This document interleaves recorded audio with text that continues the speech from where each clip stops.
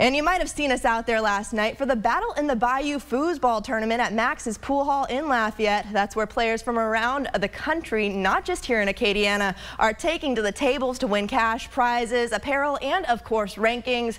And if you're wondering why Lafayette, you might be surprised to know there's a huge professional foosball community here. I know I was. In fact, the current world championship team lives right here in the hub city.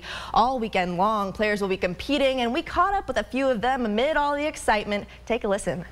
I drove seven hours to get here just to come play this tournament. So when I tell people I play foosball professionally, they go, friends, that, that thing? And I go, yeah, that's right. I understand like how intense it actually is. They think of like a little playing game where you just spin the rods, but it's just so much more, so much more behind it. And once you like get, once you start playing, you like get addicted. I had two years playing just football here in the United States, and and I got a, a couple, no, three, actually three big titles, like uh, that make me go to the top. And I come from Costa Rica, where we play in a small play with a small group of players, and get these kind of titles. It's a really big deal. So that's why I'm the man right now.